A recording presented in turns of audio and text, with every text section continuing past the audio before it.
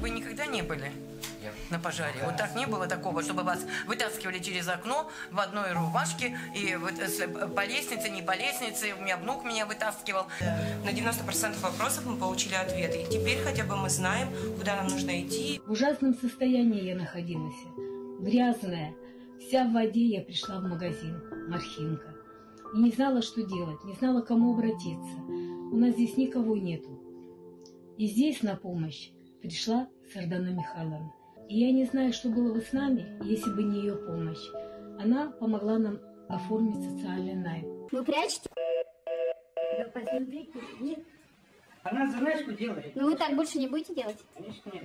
Ну вы, вы так вообще делать не будете никогда больше. Я и так не делаю. Вас же пожилого человека нельзя обманывать. Сардан Михайлович сейчас обращался по поводу капремонта. Так, она помогла, звонили это до главы правительства нашего, Приехал в Якутию на заработки. А, Отработал полгода. а, Деньги мне не заплатили. Вот. э, Идти было некуда. Если не приехали бы а, работники по правам человека уполномоченного, а, и я бы тихо с этой пневмонией умерла бы. Закон об уполномоченном по правам человека был принят в нашей республике, чтобы помогать людям вести к демократическому обществу. За 20 лет в этот орган поступило свыше 35 тысяч обращений. Для отдельного человека разрешить больной вопрос все равно, что умыться свежей водой или растопить лед. По словам главы республики, в нашем регионе действуют надежные механизмы, чтобы каждый якутянин имел реальную возможность отстаивать свои гражданские права. Первый омбудсмен республики Федора Захарова ставила вопрос принять национальную программу строительства бесплатного социального жилья на уровне Российской Федерации. На ее счету свыше 20 выигранных дел в Европейском суде. Нет такого дела, которого нельзя осилить, считает Федора Николаевна. Благодаря ходатайству правозащитника норма предоставляемого одиноким гражданам жилья была увеличена в два раза. Второй омбудсмен Алексей Ефимов стал практиковать выезды в районы республики для приема граждан, проверки изоляторов временного содержания. Им использовалась действенная мера реагирования как внесение заключений в судебные и правоохранительные органы, в органы государственной и муниципальной власти. Удавалось изменять вступившие в силу незаконные судебные приговоры.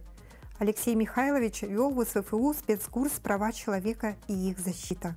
Нынешний наш уполномоченный по правам человека Сардана Гурьева ранее с 2012 года возглавляла Госкомитет юстиции, где предоставлялись населению бесплатные юридические консультации. Уже тогда возникла идея акции «Давайте накормим бездомных». Здесь, в аппарате уполномоченного по правам человека, эту акцию внедрили, расширили и назвали «Путь к дому».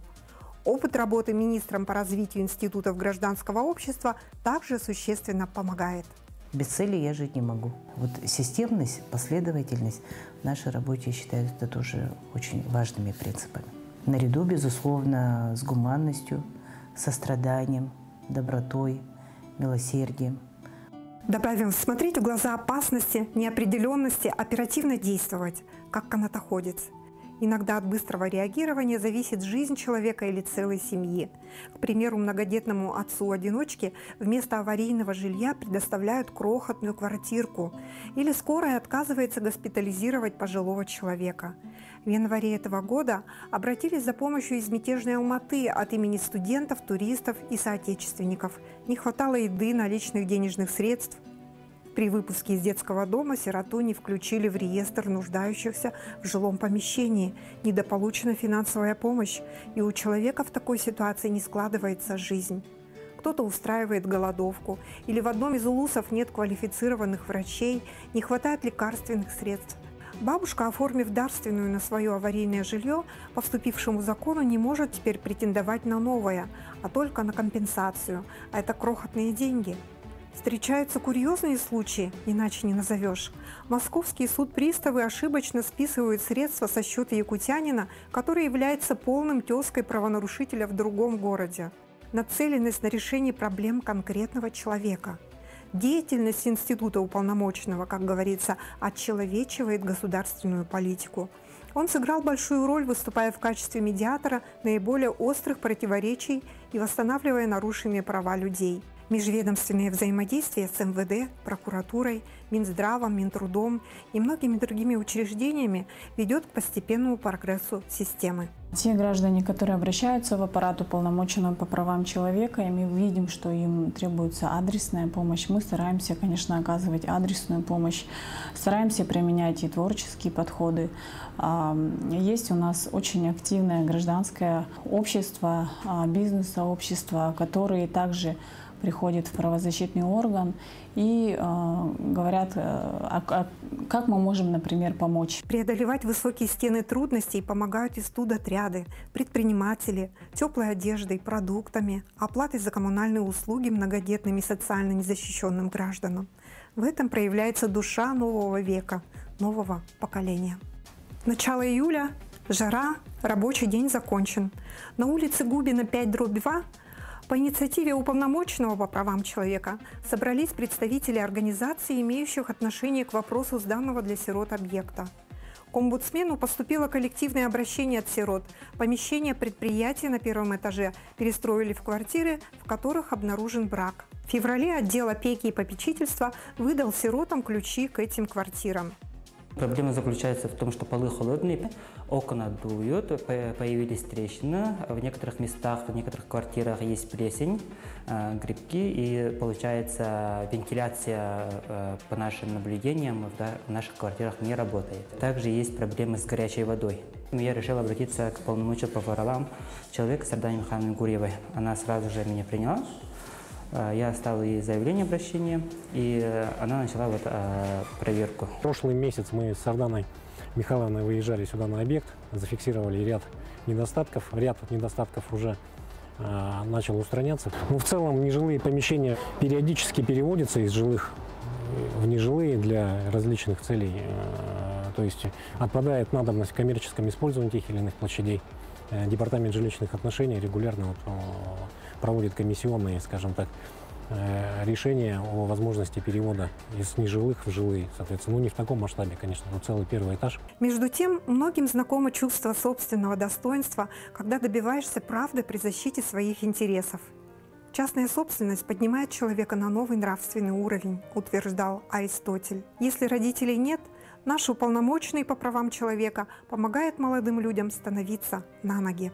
Заявления граждан от детей-сирот поступают к нам регулярно. Это в основном касается вопросов э, постановки на учет для включения в единый реестр для получения жилых помещений. Меньше года ушло на решение судьбоносного вопроса еще одной сироты. Отец, который остался вместе с девочкой, не смог потерю свою пережить и стал пить. Девочку оставил там одну без присмотра, пил и потом умер. Еще ребенку не было совершеннолетнего возраста у ребенка. Э, то есть видели учителя, видели ну, соседи, да, а, там девочка ночевала у своих подруг школьных, родители этих детей видели, но никто не, не забил тревогу. естественно, эта девочка вот так вот проживая, а, ночуя где попала, э, ничего не, не, не доедая, она начала воровать в магазине продукты.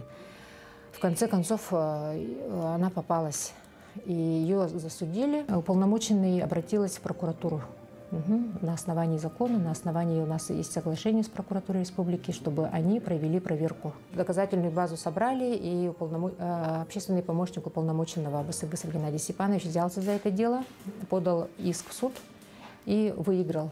Второй случай, будучи ребенком, его привезла мама и он, бедный, даже не знает нормально своего отчества, точного своего отчества. То он, то он такой, то он секой. Э, и жил, видимо, так, как мог. И в итоге никаких документов у него не было. И в этом году позвонили, спросили, ну что там с этим гражданином. А сестра так и не пришла. И мы попросили номер телефона сестры, чтобы позвонить ей и сказать, ну, объяснить ситуацию, чтобы она не игнорировала. Но в итоге мы с ней поговорили, признали, ну как то опознание провели. С ее помощью мы проводим ежегодно традиционные э, студенческие мероприятия, такие как э, Олимпиада студентов э, по знаниям о защите прав и свобод личности. Также Садан Михайловна и ее аппарат активно участвуют в проводимых факультетом научно-практических мероприятиях. Также мы со студентами ежегодно год несколько раз проходим практику и эм, посещаем просветительские мероприятия, проводимые аппаратом. Все люди рождаются свободными и равными в своем достоинстве и правах, говорится в первой всеобщей декларации прав человека 1948 года. Все люди равны перед законом и имеют право на равную защиту. Статья 29. Каждый человек имеет обязанности перед обществом, в котором только и возможно свободное и полное развитие его личности. К слову, первые законодательные акты в Якутии – это документ о степных законах и обычаях якутов 1824 года. С 1767 года за каждым наследом стали закрепляться земельные угодья. Теперь часы показывают новое время. Это четвертый этап республиканской акции «Мы патриоты».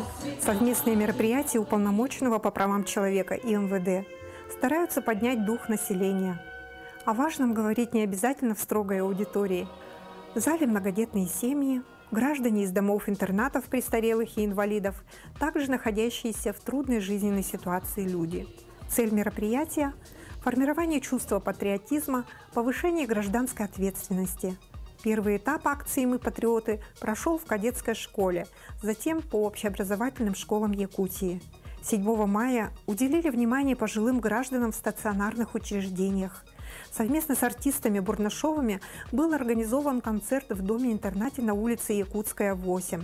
Местный хлебокомбинат приготовил торт на 190 человек.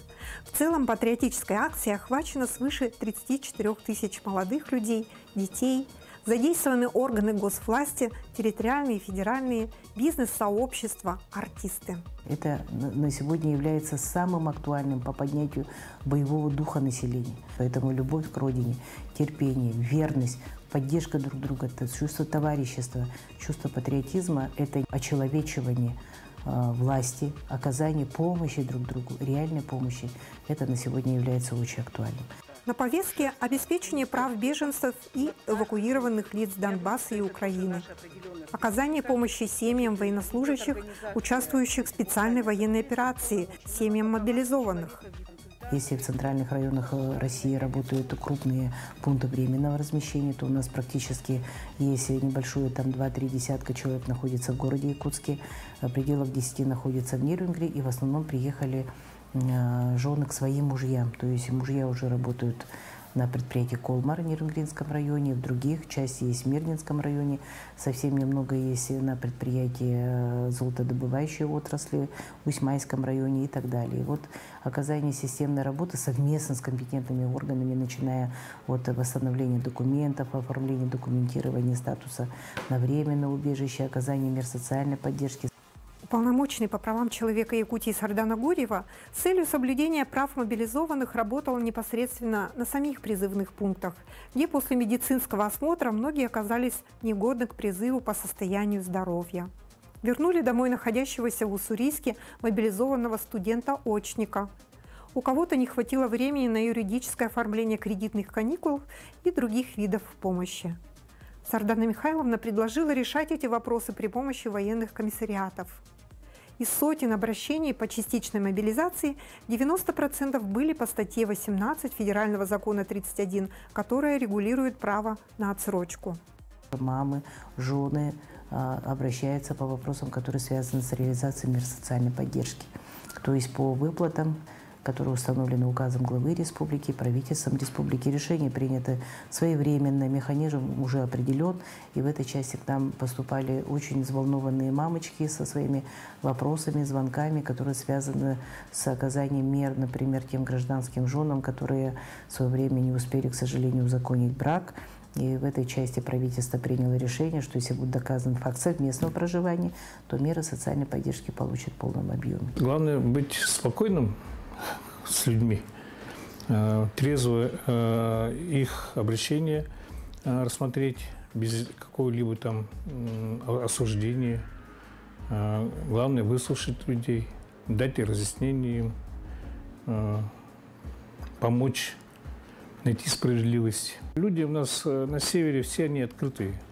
Где-то у них проблемы, которые они не могут но приходят сюда, начинают э, объяснять свои проблемы, мы их пытаемся решить. Ну, в основном осужденные пишут это несогласие с приговором, которые, но и есть, которые по медицинской помощи. Ну, вот, вот в отношении этих мы пишем тоже, и э, органы рассматривают УСИНа, медицинской части, они принимают меры по оказанию медицинской помощи, надлежащей медицинской помощи в беспредельных учреждениях или следственном изоляторе. Поступают жалобы на волокиту должностных лиц органов предварительного следствия. Были также случаи неоправданной волокиты должностными лицами учреждений системы социальной защиты в принятии решения о назначении социальных выплат. Сардана Гурьева обратилась в Министерство труда и социального развития республики с просьбой в кратчайшие сроки устранить бюрократические проволочки в назначении социальной выплаты. Работаем не только от а, ну, решения да, индивидуальных проблем, но и выходим, а, когда обсуждаем какие-то вот э, проблемные вопросы, уже более общим да, а, проблемам, а, которые могут быть решены и через э, изменение законодательства, и через решение каких-то совместных проектов. Поэтому взаимодействие у нас не я скажу, очень хорошем, таком а, продуктивном, конструктивном поле. Один из сложных вопросов – реализация гражданских прав инвалидов. Ровно три года назад семья Ефимовых приобрела через ипотеку частный дом с земельным участком, как писали в СМИ, обшитый профлистом гараж. Тут возникает вопрос, разве банки у нас предварительно не обследуют жилье перед финансированием? Именно благодаря Сардане Михайловне мы достигли Э, наша проблема вот дела до уголовного дела довели. И от нашей семьи мы благодарим Савдану Михайловну э, за чуткое внимание. После такого удара у мужа Григория случился инсульт. Пока арендуют дом. Вообще в Якутск переехали ради сына Андрея. Необходимо было попасть в коррекционную школу. Сегодня он активист 34-й школы. По словам Марианы, сильнее стали после поддержки уполномоченным и прокуратурой. недавно мы получили хорошую новость. Суд по их делу выигран. Вот так люди падают, ушибаются, встают, продолжают идти вперед. Омбудсмены, как люди-маяки, зарождают надежду. По словам уполномоченного по правам человека Российской Федерации Татьяны Москальковой, закон не всегда справедлив, а справедливость не всегда законна. Согласно статье 104 Конституции Российской Федерации, уполномоченный не обладает правом законодательной инициативы. Вместе с тем участие в законотворческом процессе осуществляется в разных формах. Предложения уполномоченного по правам человека в России основываются на анализе поступающих обращений граждан, уполномоченных по правам человека в субъектах России, результатов изучения общественного мнения – по итогам такого мониторинга разрабатываются конкретные законопроекты и вносятся предложения. Еще являются яркими а, вопрос внесения изменений в КОАП Республики Саха-Якутия. К сожалению, был резонансный случай, когда погибла а, мама, э, ученая женщина, кандидат наук от э, нападения бродячих собак – и нами были внесены соответствующие правильные, как уже показало время, предложения по определению степени агрессивности собак, по установлению административной ответственности, которая была ранее установлена, изъята. Теперь эта норма возвращена в отношении владельцев. И тем самым мы видим, что если правовая норма есть, и она защищает право человека на жизнь, эта норма будет работать. И определенный мониторинг и контроль со стороны надзорных органов, контролирующих органов делает свое дело. Первый спецдоклад Гурьева и Вилтумени касался одиноко проживающих граждан.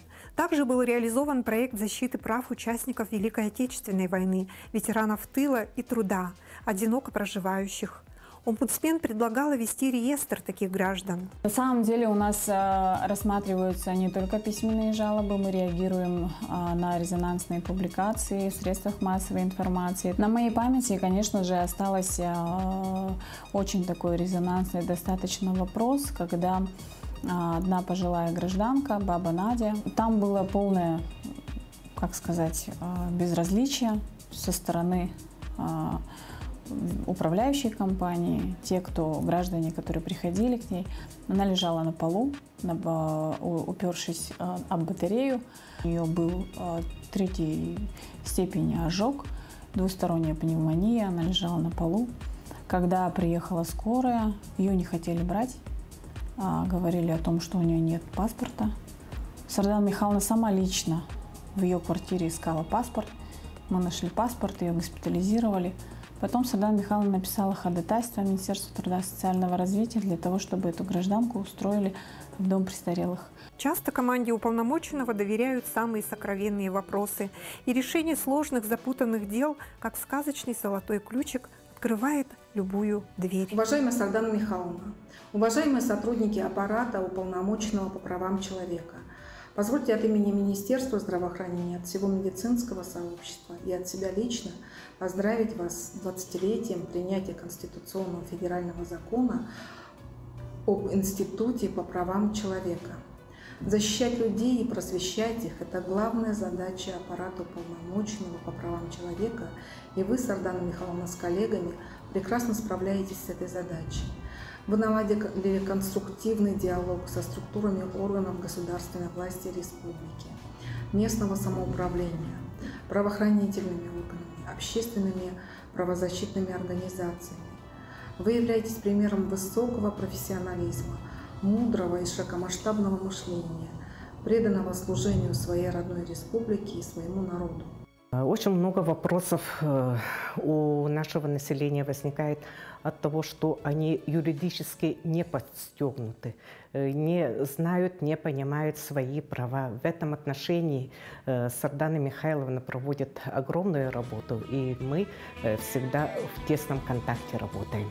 Даже в вопросах предоставления места в детском саду. Сегодня я понял, зачем нужны дети, зачем в переходе скрываются маги под видом цветочницы или... Прячется маг за каждым бродягой. Интересные слова. На самом деле среди бездомных встречаются и талантливые люди. В этом году на базе центра «Линия жизни» мы устраивали поэтический конкурс среди них. В республике нет закона о бездомных, поэтому они не защищены, считает Сардана Гурьева.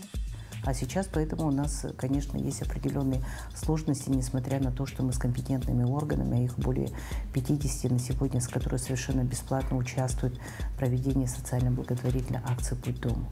Поэтому их прошло уже более 10 привлечено, мы оказали помощь более 800 гражданам, но тем не менее проблема-то не уходит, потому что, что называется, если мы смотрим о раннем выявлении, там уже комплекс со стороны социальных учреждений работает тоже достаточно четко. Они, аппарат приходит и проверяет, насколько мы обеспечиваем права а, лиц, которые содержатся в наших специальных учреждениях полиции. Непосредственно с Арданой Михайловной начинали лет, наверное, 6 или 7 тому назад благотворительную акцию под наименованием а, «Путь дому». Сардана Михайловна с нами вне рамок акции, да, вне рамок акций э, сама лично э, ходила и ходит с нашими там участковым полномочиями полиции по неблагополучным категориям граждан. Налажено межведомственное взаимодействие, и государство может взять человека под свое крыло. Удается многим помочь вернуться к нормальной жизни. Бездомному из города Кировск, к примеру, нашли его дочь, проживающую в Якутске. Полтора года добивались российского паспорта для человека, который 20 лет ждал оформления гражданства. У аппарата уполномоченного по правам человека в Якутии есть правило прослеживать, как сложилась в дальнейшем судьба человека после обращения к ним. Вот один из счастливых случаев. Сардана Михайловна приехала поздравить семью Кондратьевых с новосельем.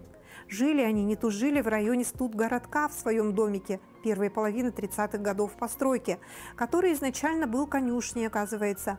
После прадед сделал из нее себе дом.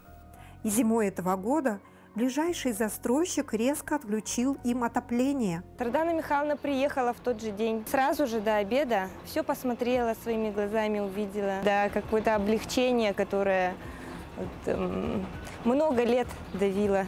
Вот так еще одна сложнейшая ситуация разрешилась.